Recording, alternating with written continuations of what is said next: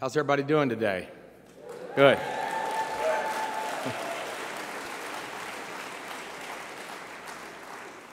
Hunt, you told me there'd be about 25, 30 people here. So.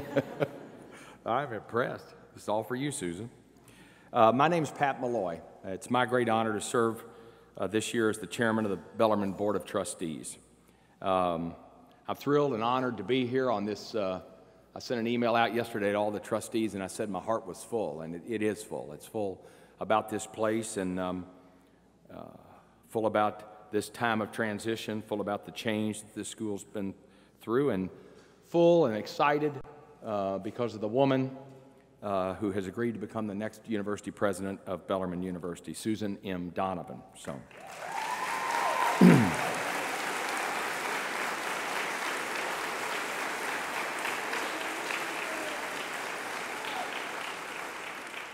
Before I let Susan come up and, and talk to you, because this is um, the community that she's chosen to lead and that you've chosen to ask her to come and be the leader of this place, I've got a bunch of thank yous, and so if you'll just bear with me for a few moments.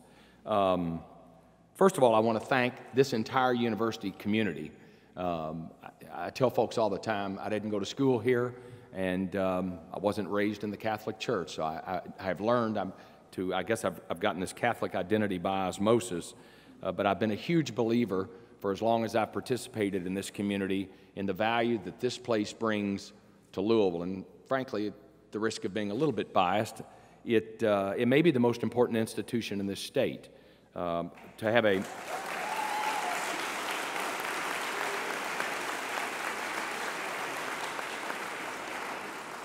I don't mean that in a parochial way. I don't mean that Bellarmine versus Centre, or Bellarmine versus Transy, or Bellarmine versus University of Louisville. But I do believe that a great, free thinking, academically free place where people can come and learn and grow is the key to the future in a place like Kentucky. The only way that Kentucky grows and moves forward is through education. It's through enlightenment, it's through learning. And um, it's what you all are about. So let me start with a few thank yous. Um, two thank yous. Um, I want to thank the fellow who's not here today, uh, the fellow who we lost in two weeks. It'll be uh, the one year anniversary of his death. And I see lots of friends. I've seen my friend Jerry, who was one of his closest friends, and lots of heads nodding around this uh, auditorium. What Jay McGowan, what he, what he built, and it, he would tell you it wasn't he singular, it was we. What we, the, all of his teammates, built over 26 years here is an utterly remarkable place. And so you're being handed this amazing institution Dr. Donovan, and I know you're grateful, so just, just don't mess it up. So it's, it's, got, uh, it's got lots of growth left in it. I mean, when Jay found it, he, he filled the air up and on the tires just as well as he could, but it's a pretty well running in, machine right now. We want to take it on into the next chapter. So I want to thank Jay, and, and I know he's in lots of your all's hearts. I had the opportunity day before yesterday to call Maureen. Uh, keep her in your prayers and your thoughts.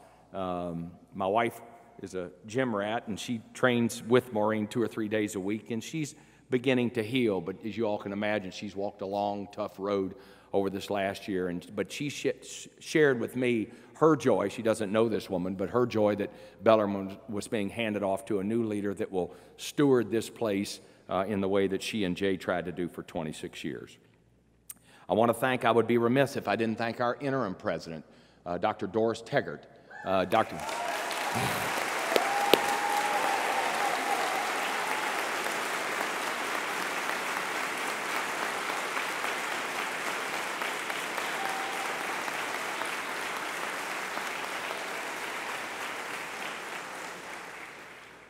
Doris uh, has had virtually every job in this university, from teaching to running just about every department and nook and cranny of this university. And she, like all of us, was knocked back on her heels when we lost Jay on Tuesday, March 1st. Um, but she stepped up, and uh, it didn't take the board two days to look at each other and go, We got to ask Doris to lead this place. I asked her to step up and take that job, and she's done it with dignity and grace and the same passion for learning that she's had for 20 plus years at this place. So, Dr. Tegart, thank you very, very much. Um,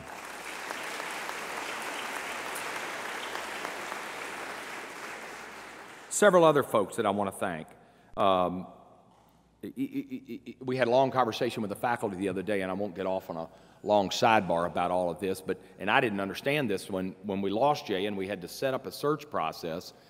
The, the, what has become best practice in how you search for a new president is what the experts call a closed process. Doesn't make it right, but it's kind of where the world has gotten to in the way we engineer those processes. And so I'm sure at times the community was frustrated and, and we saw surveys and had conversations, and I, I get all of that and appreciate all of that and respect all of that conversation.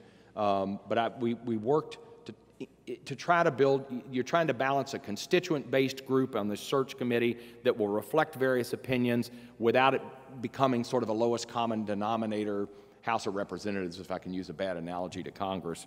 And um, so I've got, we had, sorry, I didn't mean, I know, I didn't. we won't get off on that sidebar either.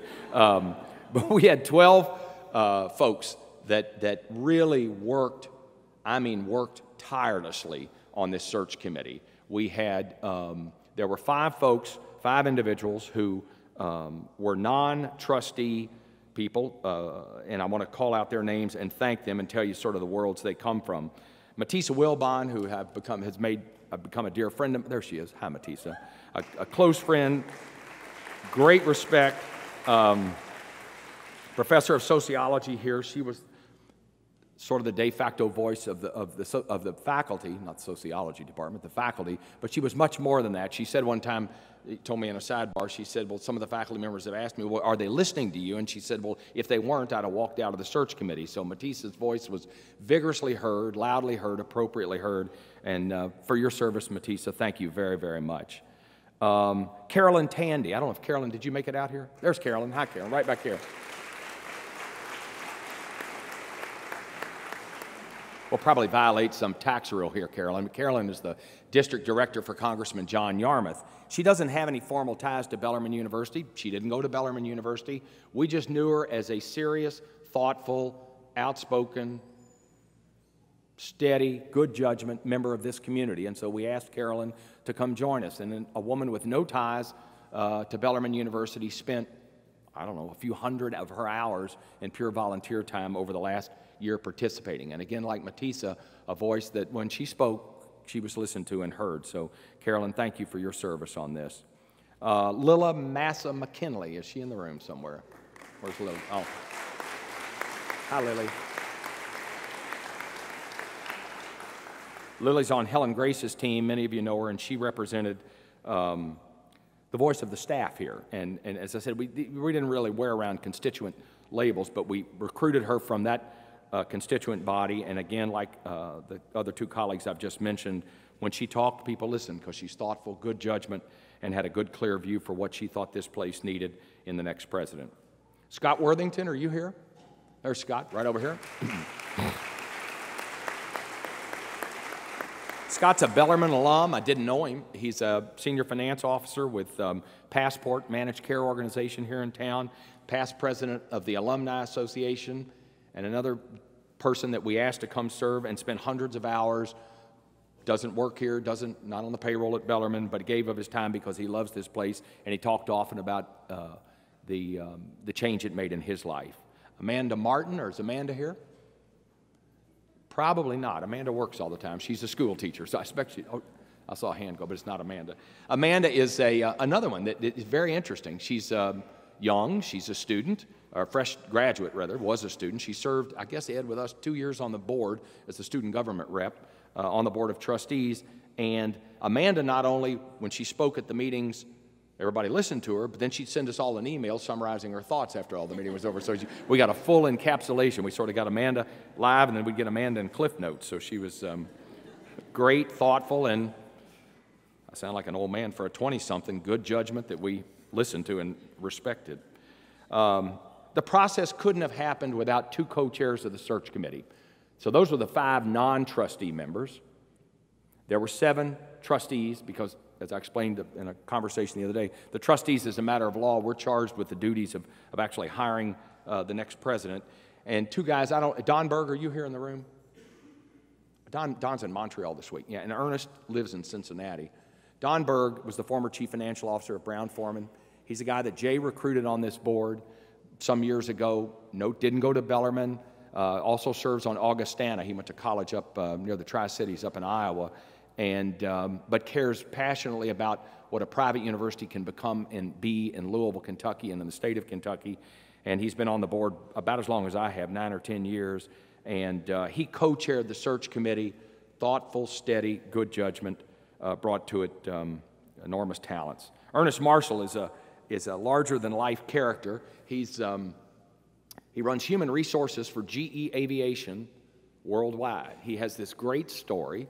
He's a young man, but he was, he was a kid when he got a scholarship to play basketball here. And when he was 18 years old, and then he went on through here and he became the student government president here. And he served on the search committee that brought Jay McGowan to Bellarmine. And he served on your search committee. So he's, uh, um, that was interesting. And um, he also talked eloquently during our process about the change that, that uh, Bellarmine had made in his life. There are one, two, three, four, five other trustees who served on the search committee. Sharon Desjarlais, who some of you will know, uh, she's an Earler from Louisville, and uh, Sharon lives in New York now. Joe Paul Clayton, who some of you will know, who the Clayton Hall here in the, in the field uh, is named for, very generous uh, former technology executive that lives up in Indianapolis now. He served. John Lansing, who runs the Voice of America, he was appointed by President Obama to run the Voice of America worldwide, and he's busy trying to figure out the new politics in Washington, or he would be here today. And um, great guy, he's on our board. Maria Hampton, former head of the Federal Reserve Bank here in Louisville, longtime banker with Liberty Bank and some other banking organizations, served a long time. And I'm not sure Bill Mudd, is Bill in the room? Bill, yeah, he may be traveling. Bill is the president of Churchill Downs. Um, little horse race company you've probably heard of in this town. And, uh, but he's another great Bellarmine alum. He's a kid from a small county, a small town in Marion, Kentucky that got a scholarship to come here and went to work for GE, and now he's running Churchill Downs worldwide. We had two individuals, Anita Tien, you would never have met her, um, wickedly smart woman who's a consultant with Isaacson Miller out of Boston, and her associate Leslie McCarthy. They were with a search firm that helped us locate Susan the, uh, the interesting thing, we had over 200 people applied for the job, and we had to winnow it down to 20, and then we actually brought in 11 people, came to Louisville, and long interview processes. And, um, and I've said this, I said it in the press, and I'll say it again here publicly. Uh, I'm not a guy that wears my religion on my sleeve, but there was a higher power at work in this committee because um, uh, I'm not saying you're holy, Susan, but I'm just saying there was something at work here because you go through these balloting processes in any one of these sort of search processes, and without fail, by the end of the process, it was a unanimous, and we were, we were, you have to be cautious about it because talented women like Susan and talented men like other individuals that participate in this process, they're wanted by lots of people to come be the president of their university. So it's a competitive process in that sense. And um, we got to the end of, of, the conversation, and it was unanimous uh, in the search committee that we seek this woman out and see if we could make her an offer that she would accept. And then when we took it to the Board of Trustees, it was unanimous without any dissent. And Anita and Leslie and Don and Ernest led us through that process, and I'll be eternally grateful. And um, I know Dr. J's smiling down on all of us because of the way it worked out. Hunt Helm, who's in the room, Vice President, I don't know your former title, Hunt, but communications and all things public around here. And Lucy Burns, without which, and you'll learn this soon, Susan,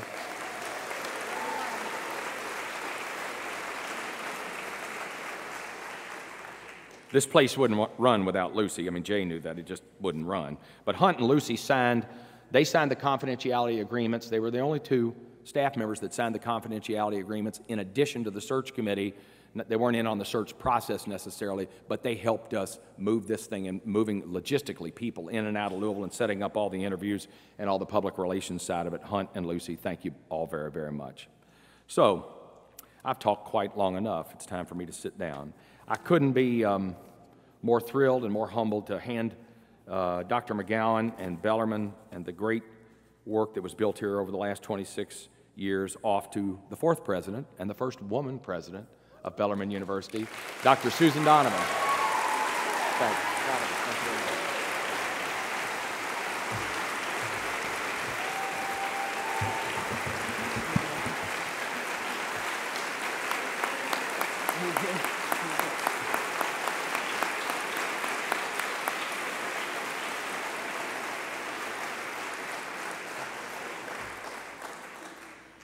Thank you, Mr. Malloy and all of the members of the Board of Trustees. I know they're not here. I also want to thank um, Mr. Berg and Mr. Marshall and the members of the search committee, those that are here and those that are not present. And I want to thank all of you for coming here today. It means a lot to me and my husband, Bill. I also want to thank my husband uh, and my soulmate, Bill Donovan, who supported me to come on this journey and uh, to persuade our twin daughters, Megan and Caitlin, college sophomores, that this move was right for our family. So maybe if we could thank my husband,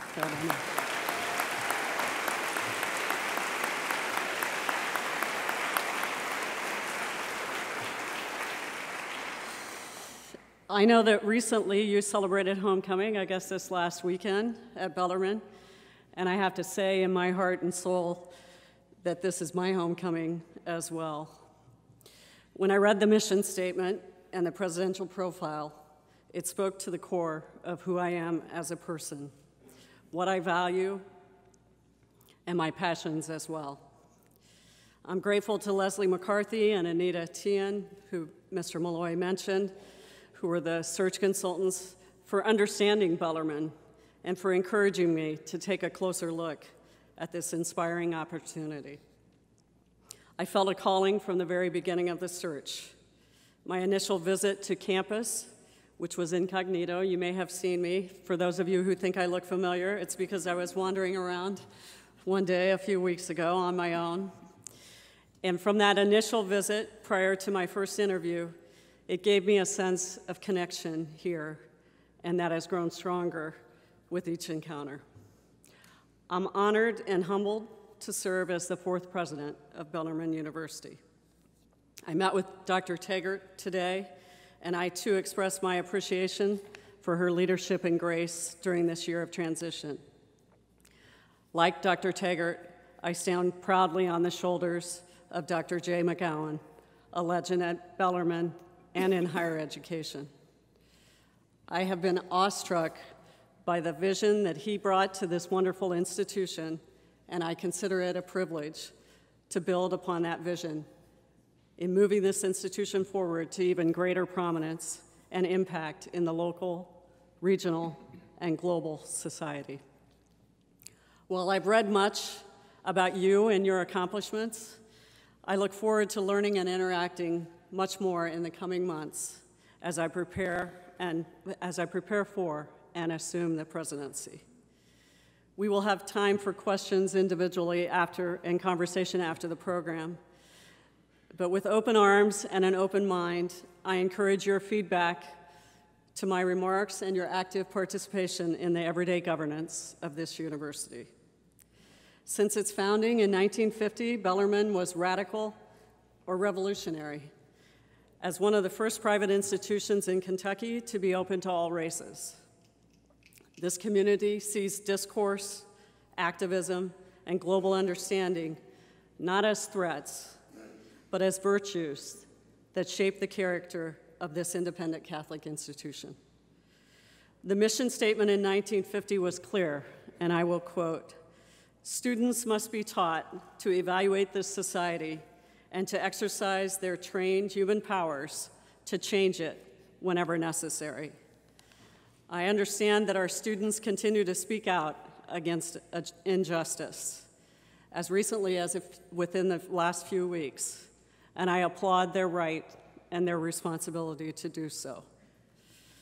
Our mission calls upon all of us to use our talents, to teach in hopes of greater understanding and compassion to use our research to create and share knowledge that will lift children out of poverty, to improve the condition of public health, to protect and to preserve our environment, to provide economic solutions to urban problems, and to bring empathy and vibrancy into our school systems.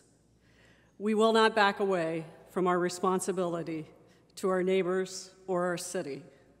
We will provide an anchor in the storm of indifference and a beacon of light for the downtrodden to help them find their way.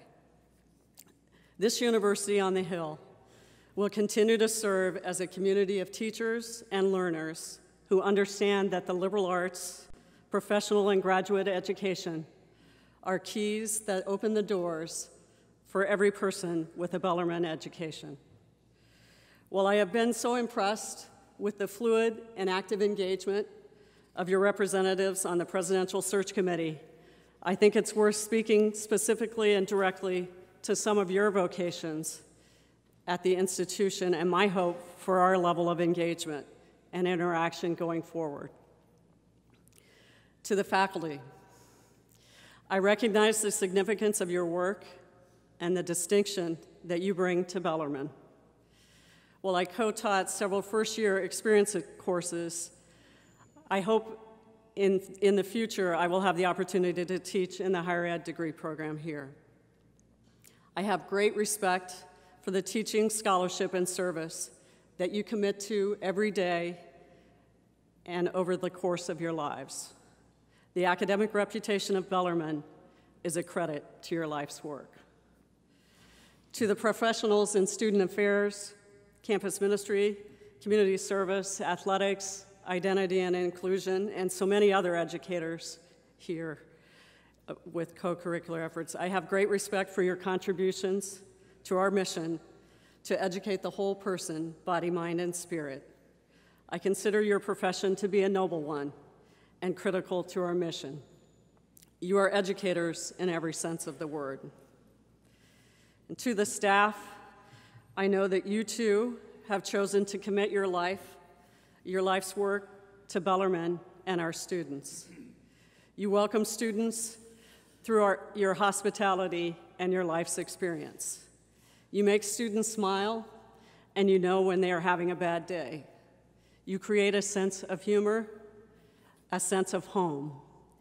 You take great pride in having beautiful facilities and grounds, a safe environment, and providing administrative support to the entire community. You are providing the foundation of Cura Personalis to every person who steps on this lovely campus. And to the students, you are the reason that Bellarmine exists. You have embraced our mission, and we hope it inspires you throughout your lifetime. I have witnessed this inspiration among your alumni and trustees. Whether this be your undergraduate, professional, or graduate education, you have rights and responsibilities that we hope will endear you to Bellarmine for the rest of your lives. There is a balance of challenge and support that we aim to sustain that will promote your growth and achievement.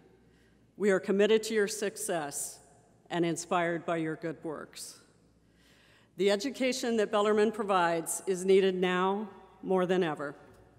All of us have witnessed great division in this, in this past year during the national election, on college and university campuses, in city streets across the nation, and in almost every corner of our everyday lives. The university, this university embraces inclusion, educates students in the Merton tradition to find the interconnectedness of all life and the solidarity of the human spirit which transcends ethnic, religious, and social divisions. The mission of Bellarmine beckons us to unite to solve problems, to rectify injustices, to advocate for and to learn from the needy in our midst, to provide access to education that transforms lives in the city of Louisville, in the region, and in society at large. This only happens, though, if we are willing to be transformed as well. While our tasks are not small and our challenges loom large, I pledge to you that we, as a university committed to finding good in all people, will continue to aspire to the highest level of excellence in the search of truth. We are an independent Catholic institution founded on the principles of justice, embracing all faiths, and transforming compassionate leaders who will change the world. There is nothing more important or noble than that, and I am honored and grateful to be a member of this community and to lead and serve this great institution, Bellarmine University. Thank you.